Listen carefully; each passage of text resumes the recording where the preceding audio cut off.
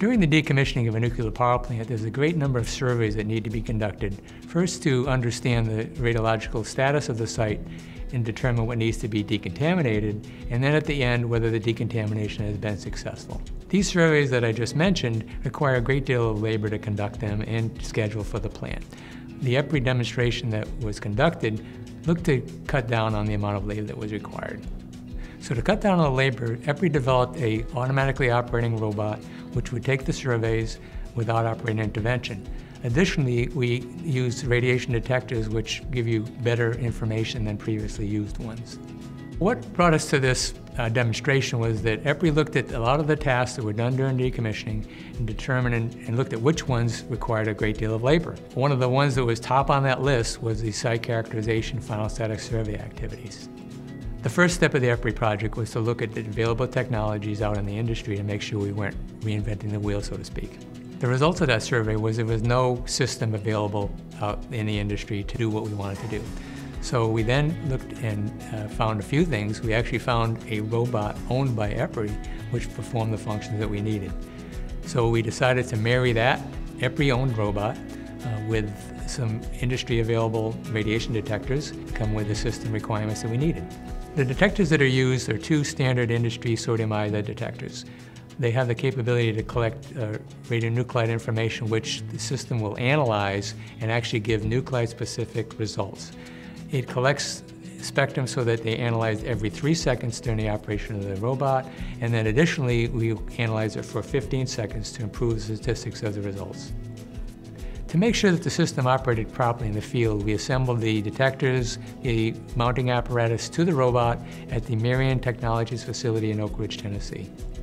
The demonstration was conducted at the Kewaunee Nuclear Power Plant facility in Wisconsin. The Kewaunee plant in Wisconsin has been shut down for five years and is in a, currently in a safe storage condition. What that means is that these systems have been drained, many de-energized, and the plant is waiting to be decommissioned at a later date. The plant actually volunteered to do the demonstration and the site staff was very helpful throughout the demonstration. The demonstration was conducted at two types of areas on the, on the site. One was a land area where very low activity material had been spread, and a second was inside the, build, the auxiliary building at the Kewaunee site. And these different areas were chosen because they had the potential to have contamination on the floors in the facility areas and also had relatively low background, which would be the situation you'd have during the decommissioning. So at the Kewaunee site, at this current status, the systems are still on the, in the site. So what we did is we, one of the things we used in the demonstration was how background radioactivity from the systems that still were in place affected the ability to conduct the survey. Indoor areas were first mapped by the vehicle's onboard navigation system. Navigation destination and turning points were next plotted on the map created by the vehicle's navigation system. The vehicle next followed the navigation paths while collecting gamma nuclide spectra every three seconds.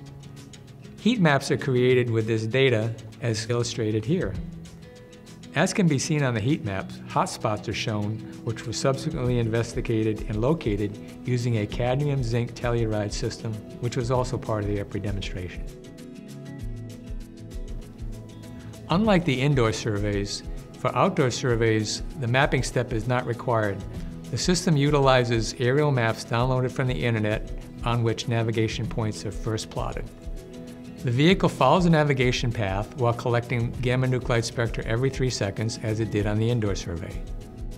As with the indoor survey, the radiation survey data is plotted on a heat map.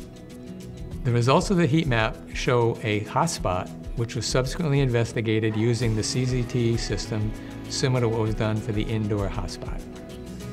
The demonstration at Kewaunee showed that the system could conduct autonomous surveys, that is, surveys that are conducted without operator intervention. The demonstration at Kewaunee showed that the system could perform site characterization surveys and potentially final status surveys with sufficient sensitivity. For building areas, the system was able to locate hotspots within the plant that required remediation.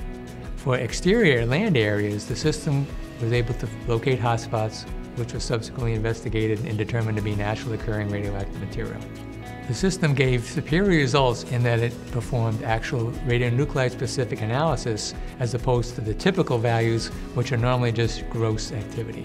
In addition to providing superior radioactive survey results, the system also showed that these surveys could be performed without operator intervention, therefore saving labor during the decommissioning.